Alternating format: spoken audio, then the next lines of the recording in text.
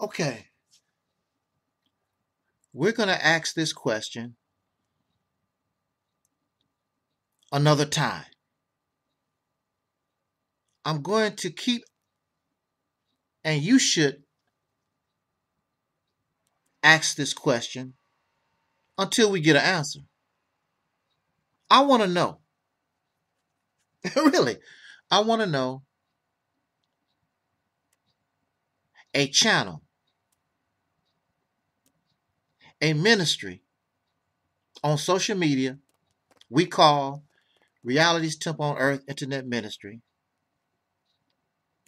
Angelsnupnup7. Since 2000, let's say 2000 and yeah, since 2008, early 2009. This is what they say. We don't get any views, 10 views average. Nobody's listening to us. Nobody cares what we're talking about. This is what they tell us. This is what they say. But for some reason, since 2000, early 2009, 2008, there has been an activity of slandering our name, flagging our videos, terminating our channel. Why would you? If see, it's illogical. If nobody is listening to me, if the only thing I get is 10 views, I only have 10 subscribers, well 11 11 subscribers now why is it important for these people to flag our channel? Even to the point google the corporation is involved. Find any reason to terminate any anything. Facebook constant harassment. And of course, individuals.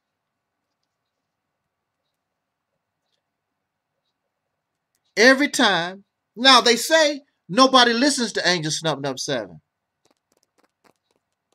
But see, that's that's not that's not real. That's not accurate because there was a time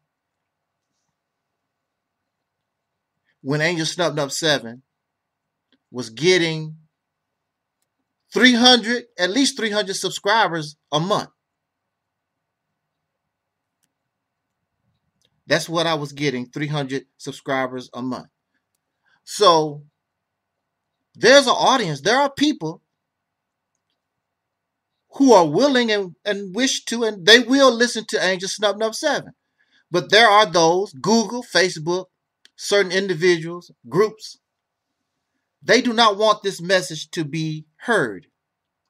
Why is that? See, it's, it's my, but I notice when I talk, and I could say the same thing as many as many other people might say, but it seems as though when I talk, it really hurt these people's feelings. They go, they go bonkers. I always feel like somebody's watching me was a song by, by Rockwell, Berry Gordy, son. I always feel like somebody's watching me. Somebody watching us. Why do you need to watch a channel that has 10 subscribers? Nobody listen to.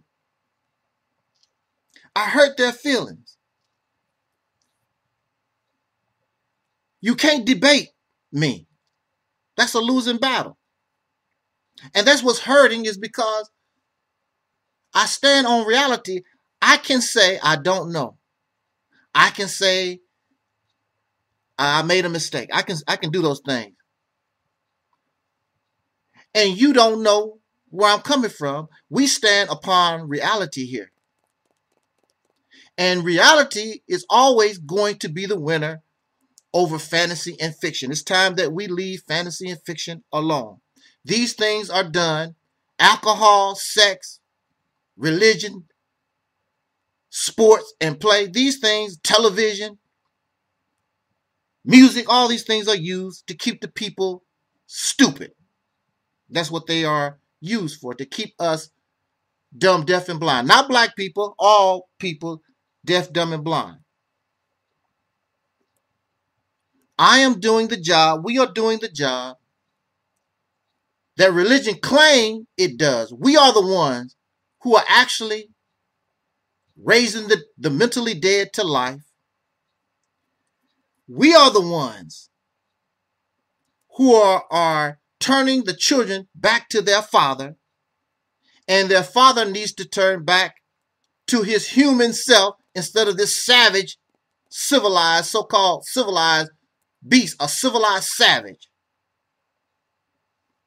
We ought to bring the hearts of humanity back to reality and break this, this demon mindset given to us from illiterate ancient people who were they they didn't know what they was doing. They just made up stories because they didn't they were afraid of death. They they didn't have any kind of real science. They were just making stuff up. And we bring this stuff into 2023. It's, it's over. You're not going to be a child of God anymore. It is time for us to grow up and be a God. And God don't pray to God. God is a God in their own right just like when you become an adult, you are a parent in your own right, even though you still respect and love your mother and your father. There's no difference. What makes Angelsnupnup7 a threat? I'm a threat to those who are oppressors, those who oppress women, those who abuse children, those who abuse and exploit this planet. I'm, I'm a threat. My mindset is a threat because I understand that you want to go to the moon. I understand that you want to go to Mars and Jupiter and Pluto whatever. But I understand at this moment in time, there's only one real mother, there's only one real life giver, and that is the planet that we were born upon. And this destruction, this abuse of the earth, this exploitation, Adam has failed.